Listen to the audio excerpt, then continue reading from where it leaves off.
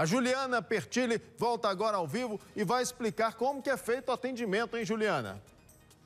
Como que é feito o atendimento, Marcelo? Primeiro, com muito amor. Às vezes as pessoas falam assim: ah, não, um lugar para tratar de cachorro. Deixa eu te mostrar uma coisa aqui primeiro. Olha só quem está ali a dona Margarete e a Morgana. A Morgana tá com esse paninho azul amarradinho na barriga dela, Marcelo, porque ela está com um tumor. A Morgana já é uma jovem senhora, tem 11 anos essa cachorrinha e veio em busca de atendimento. Quer falar com a gente aqui é a médica veterinária Karen Lopes Brito, que vai explicar pra gente a importância de um lugar como esse e como é que tá o atendimento. Já começou? Como é que o pessoal faz? É com senha? Bom dia. Bom dia. Bom dia, já começou assim. O atendimento é feito por senha, né? Das 7 às 8 no período matutino e das 13 às 14 por período vespertino. Já começou assim, desde do, do, do, dia que o Iris inaugurou, já começou. Que tipo de procedimento que a gente já consegue fazer aqui, cara? Nós estamos fazendo agora nessa primeira etapa atendimento farmacológico e ambulatorial. Certo. E aí, quem tem o cachorrinho é, às vezes, um atendimento de emergência para animal, o que seria, por exemplo? Esse atendimento, a gente está fazendo parte todinha de apoio, é, estruturando a família, uhum. fazendo exames, triando o animal, igual essa, esse animalzinho que chegou aqui hoje para consulta.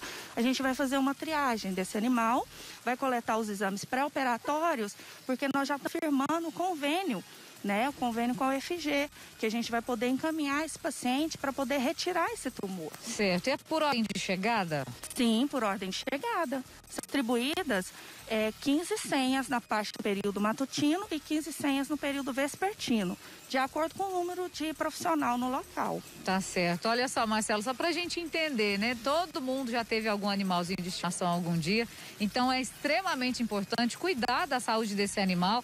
Ana Margarete estava contando aqui que lá na casa dela ela tem cinco cachorrinhos, que todos eles foram encontrados na rua.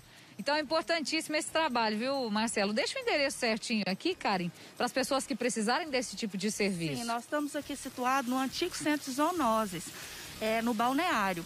É, no Google já aparece certinho que a Avenida eu, eu, esqueci um pouquinho porque está bem recente. avenida. Porque, é, Avenida, é a Avenida José, José Martins, Martins Guerra. Guerra. Isso, eu não tenho muito.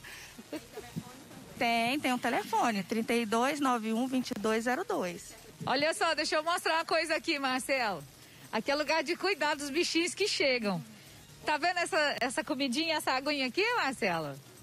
São dois gatos, duas gatas que moram aqui. São bobas não, hein, Marcelo? Sentir qualquer tontura, já tem aqui a Karen para cuidar, viu?